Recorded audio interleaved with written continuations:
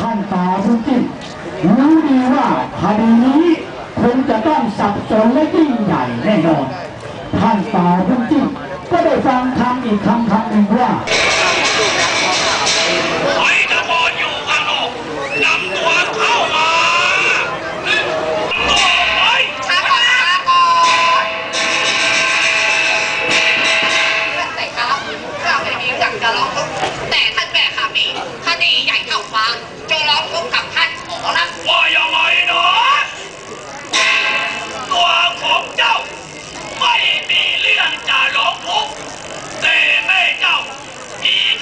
ใหญ่เท่าฟ้า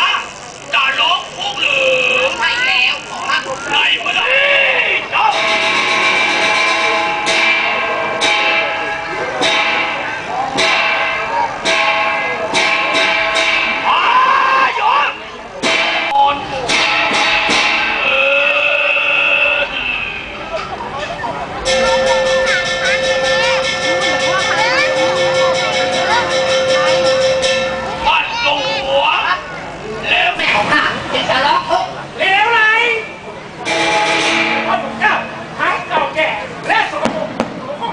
จะให้ท่านเข้าไปอีกเลย